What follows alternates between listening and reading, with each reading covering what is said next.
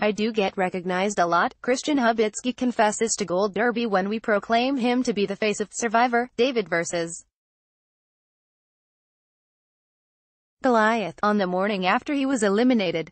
I try to keep the changes as small and as manageable as possible, he continues. I started my new job. I'm teaching a class. I don't talk about Survivor during the class. I just kind of do my business. I try to sort of treat it like it's normal. Listen to our exit interview above. 1 jarring story Christian tells us is that he recently went out to eat with his girlfriend on his birthday and only four other patrons were in the restaurant. What are the chances that I'll be seen? He recalls thinking. Approximately 1 in 40 Americans watch Survivor. There's four people here. Very small.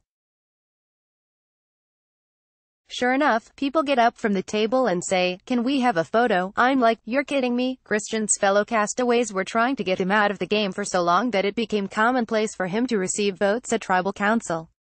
I think I became a big target for a few reasons, he explains. The big one was that people seemed to like talking to me and like working with me. Angelina Keeley has a great secret scene where she explains why she's targeting me right after the merge. I was really trying to charm Angelina. She was like, yeah, I want to work with him, and then she caught herself and said, wait, if I want to work with him then everyone wants to work with him. What was Christian's reaction when Davie Rickenbacker stood up to play another idol at Tribal Council? Oh, I had no illusions that Davie would play an idol for me a second time, Christian readily admits. The only reason I knew he'd do it the first time was because he told me and we talked about it and he was motivated for a number of reasons to do it. I knew about his Final 7 idol. He told me about it and in fact we talked about how he should play it.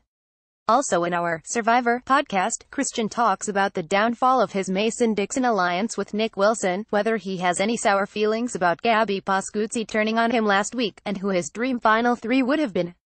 Listen to our prior exit interviews with Pat Cusick, Jessica Peet, Jeremy Crawford, Bi Nguyen, Natalia Azoqa, Natalie Cole, Lyrsa Torres, Elizabeth Olson, John Hennigan, Dan Rengering, Alec Merlino, Carl Boudreaux and Gabby Pascuzzi.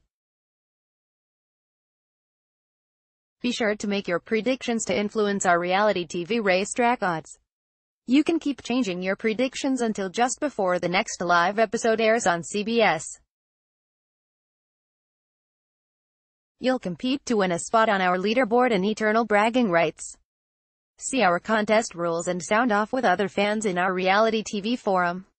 Read more Gold Derby entertainment news.